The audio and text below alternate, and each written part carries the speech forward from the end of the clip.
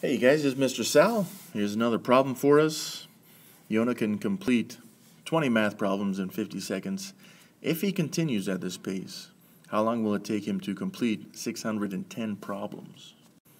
So what this is telling us is that we have a proportional relationship, which is why it's telling us if the pace continues the way that it is.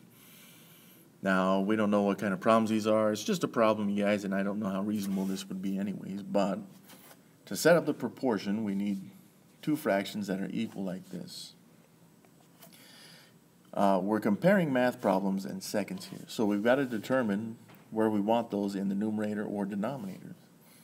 So I'm going to put seconds in the numerator, and I'm going to put math problems in the denominator for both. So this way that I've labeled these, it just allows me to know where the numbers go in, the proportion here. So right here we have 20 math problems for 50 seconds. So that would be 20 math problems for 50 seconds here. And on the other hand, we have 610 math problems, but we don't know how many seconds.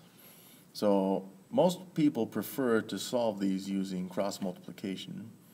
So if I cross multiply these two, I've got 50 times 610, and this should be equal to 20 times the x, which would be the other cross. So now we have this equation which we can solve. Uh, let's go ahead and do 50 times 610 first. And what would that be? 50 times 610. So 0, 0, 5 times 0 is 0, 5 times 1 is 5, 5 times 6 is 30. So I've got from these two, 30,500. I, I just added those two together, by the way. And that should equal that 20x.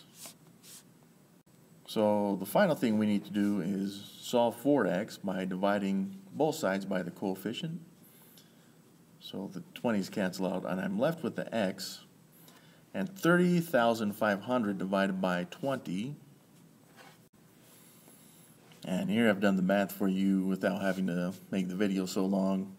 So 30,500 divided by 20 would be 1,525. And we do need to label this because it was in seconds. And we just put an S on the end of that. And that would be the final answer.